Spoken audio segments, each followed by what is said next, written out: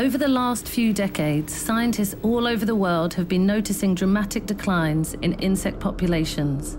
Alarmed by these observations, they decided to investigate. First the possible causes and then the matter itself. Based on the assumption that the increasing worldwide use of a relatively new group of pesticides, the neonicotinoid insecticides, might be responsible for the observed changes.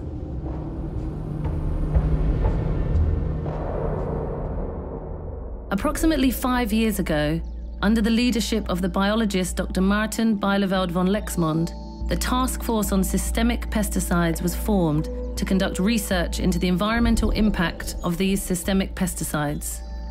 This international task force has now produced a large scale report on the use of neonicotinoid insecticides and its effect on the biodiversity and ecosystems of the planet's environment.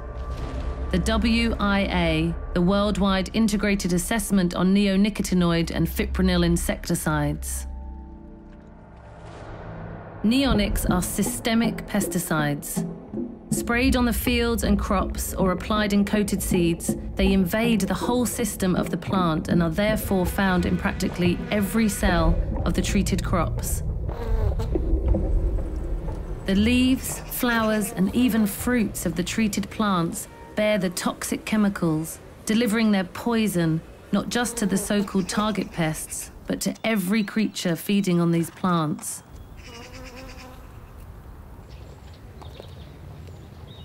Actually, the majority of the pesticide doesn't go into the crop at all. Um, more than 90% of it uh, goes elsewhere into the environment, and they're really persistent in the environment. So uh, we know that the, the, the half-life, the time it takes for half of the compound to disappear, uh, can be in the region of years in soil. So if you're using them every year, they accumulate, they're getting into soil water, and hence into streams.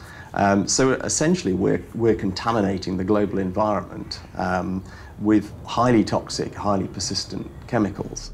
Research of the surface waters in the Netherlands shows that in 50% of the probes measured, the amount of toxins rise above the levels permitted in the EU. French researchers have found substantial amounts of neonics in the pollen and nectar of the flowering crops. This is clearly linked to the colony collapse disorder of bees observed worldwide. Well, there is two main points. As a chemist, and analyst, I am looking to the contamination of environment. As a toxicologist, I am looking to the effects of this contamination on living systems.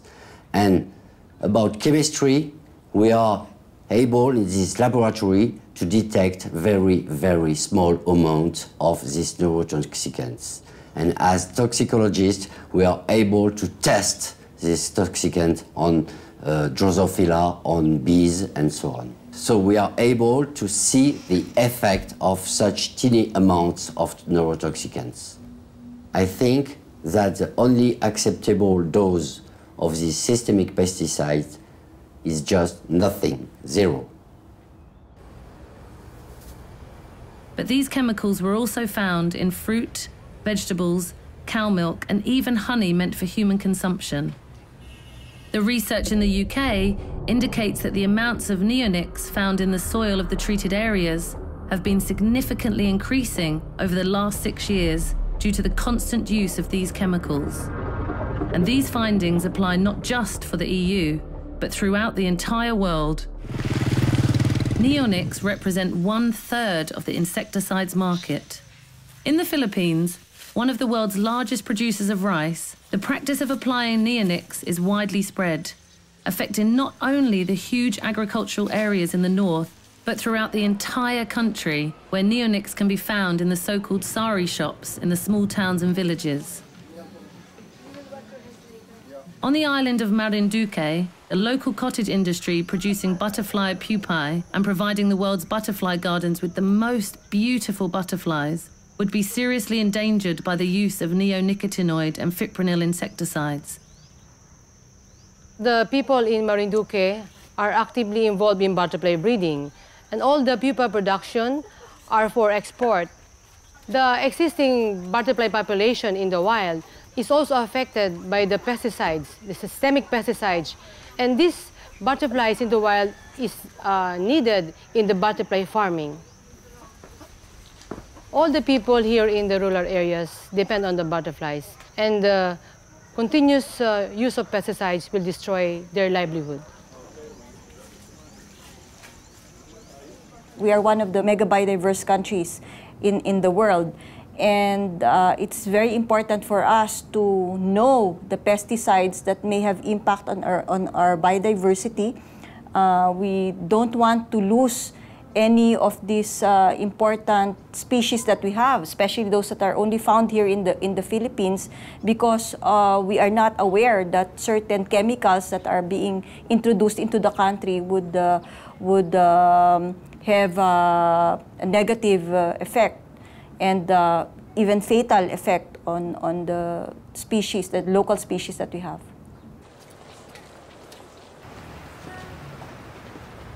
These days, many people are completely detached from nature. They buy their food in a supermarket, they live in a city, they don't really understand or know much about the countryside.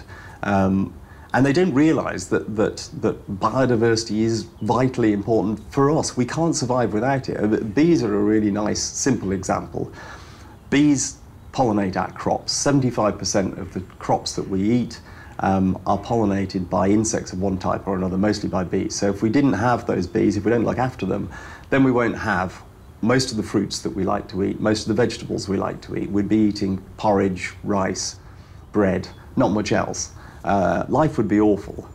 The preventive worldwide use of the neonics in the fields of agriculture and horticulture forms a serious danger to biodiversity of insects and other invertebrates.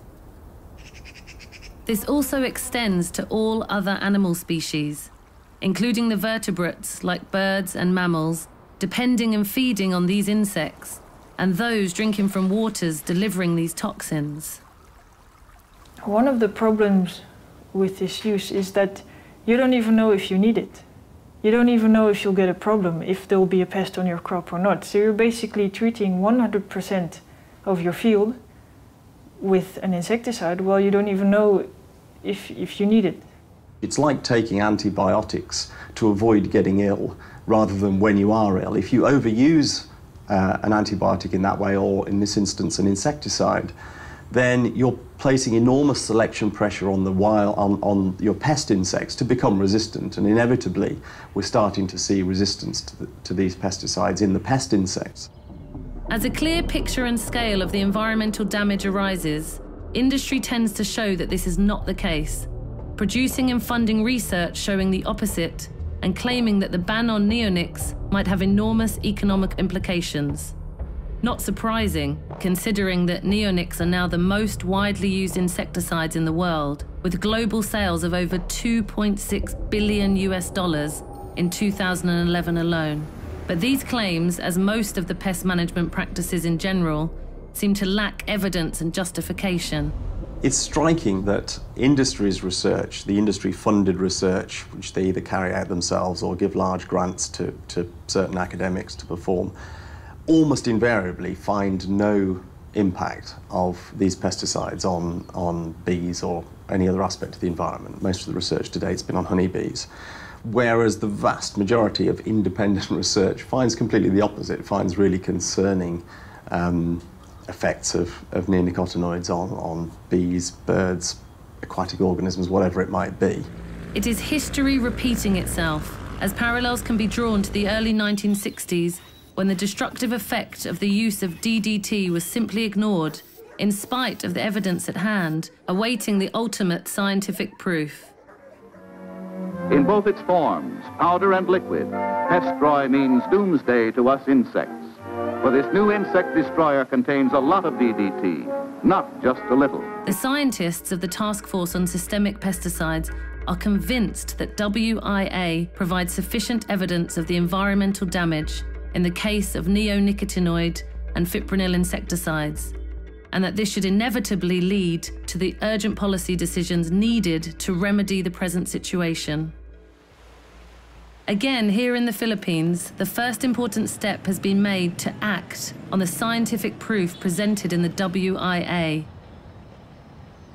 In Marinduque, culturing butterflies and honeybees are major sources of livelihood. The Philippines is the butterfly center of the world, and Marinduque is the butterfly capital of the Philippines. For this vital information from WIA, in order to protect the green industry of our beloved province of Marinduque, I, as governor, will ban totally the use of systemic pesticide and fipronil.